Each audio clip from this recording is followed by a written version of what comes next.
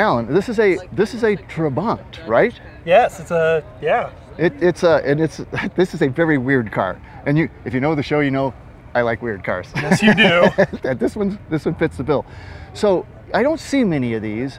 Uh, it's a really old design. I, t- I tend to think of these things from the mid 60s. They're really an East German before the wall came down car, right? Yes. But this is not a mid 60s car. No, no. this it's, is a, it's a 1987. But it looks like it looks like a 64. yes, yes. This car was built from 64 to 91 and they just didn't change anything. Um, very minor things. It got 12 volt in the 1980s. They got three point harnesses in like 84. So overall, it's a, it's, it's a very primitive car. But again, it was built for the people over there. a, a, a primitive car built in 1987. right? Yes, yes. Well, the other thing, and I didn't know this, I didn't know that these things are not steel cars. No. They're no. also not fiberglass cars. No. What are they? Yeah, some people will say they're made out of cardboard, but that's not correct either. They're made out of Duroplast, and Duroplast is basically a wool fiber jacket that was ground up, the leftovers. They take that, they compress it with a resin and heat, and basically compress it to make the body panels that are then bonded to the light bit of steel that's on this car. So this is a composite body, if you will, but the composite is made from old wool coats. Wool coats and recycled pieces. So you could technically call it the first green car if you can call a two-stroke car green. Green, right? Exactly. So I mean, everything—the hood, the top, the it's all this dur- Duroplast. Duroplast, yeah. So fenders, hood, roof, you name it, they put it on there, and light bit of steel to bond it all together. That is just now. Is that stuff heavy or is it light? It's very, very light. So um, the whole car weighs in right around 1,300 pounds. Oh my goodness! Yeah. But you need that though, because it only makes 26 horsepower On a good day. on a great day. Yes. Well, and I bet I bet these fog lamps add some weight to it too. That probably cost you, you know, Oh, probably at least a horsepower right there. Yeah, yeah, and those were actually an option for the car, depending on what trim level you got. This car is actually an S, but it has some deluxe features, aka I got fog lights. But an Wow. S model, I got a radio, a radio antenna, and I got a cigarette lighter inside. Wow. Okay. And some so- ashtrays, because you needed that.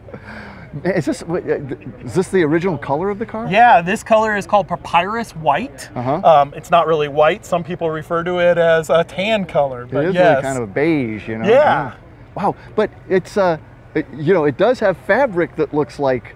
Well, in fact, it still looks older than that. Yeah, as you can see right here, we've got some 1970s interior. Um, and as I said before, too, if you got a deluxe model, you got headrests. I don't have headrests. But inside, we actually have the petcock to turn the fuel on. Oh, great. I have a radio, which makes me kind of special. Um, but then I've also, I don't really have any other creature comforts. How about the fuzzy dash tray? so that is part of the S package. If you got a base model, you didn't get that package tray, No. which is a great thing to have. Yeah.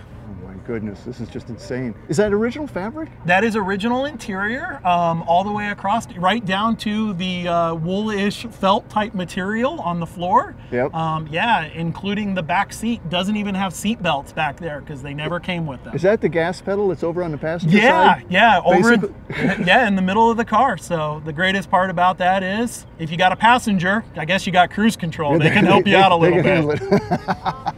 wow, and this is just too cool. I mean, and it's it's a yeah, it even it even sounds kind of It sounds, yeah, it sounds extremely hollow. So, um, as we were talking about, you can actually see up underneath, this is that Duroplast Oh, right, material. right. But as you can see too, this trunk is very roomy. It that's is. A, that's a full-size suitcase. So you and all your friends could pile in and get on over to wherever you're going. So th- this was kind of this was the only car for East Germans, basically, They pretty pr- much. Pretty much. There was another car. If you were an executive or like a high-ranking person, you could get a different car. But for the most of the masses, this was the car, and you waited up to 12 years to get a car. There's actually stories of people getting their first car and waiting and waiting, putting in for the second car, getting the second car 12 years later, but getting rid of the brand new car.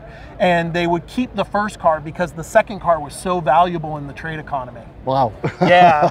There's also stories of people using used cooking grease to wax the car Un- to keep the car even in better shape too. Well, let's go see the massive power plant that moves us down the road. Yeah, let's go check that out.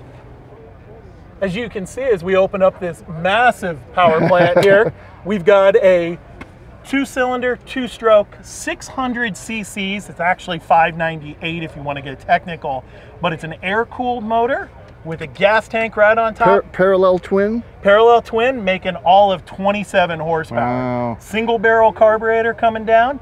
And the greatest part is too, as I said, no fuel pump, no water pump, nothing really to go wrong. Super, super easy to use too. So it's air cooled, huh? It is air cooled. It is air cooled. It is air cooled. Yet, yet this jacket's on there. Yeah, so over there they have the jackets because it gets cold. They're more Uh-huh. worried about that initial first start. Uh-huh. But people always ask, being here in Arizona, how does it do in the heat? Does great. I've I'm str- I'm I've run the car at 110, 115 degree days outside, no problems. Wow. Guys have driven them all the way across Africa too. Jeez. And it, was there a heater? I mean, did it pipe any heat in like the So- V Dubs or not? So yeah, your heater is actually coming off of this expansion chamber. Oh, okay. Comes in here, and there's three knobs on the inside to bring that heat inside. And it's a front wheel drive car. Front wheel drive car with a reverse leaf spring, both front and back. Oh wow. what a kick. Do people even know what this is? So I get a lot of comments. People think it's a Russian car. Uh-huh. They guess wrong. They think it's an Opel. They think it's uh, a Skoda. They think it's something else. Um, but no, they either they know what it is or they have no, no idea. idea. But the greatest part is they get educated and get to see it. And people dig it.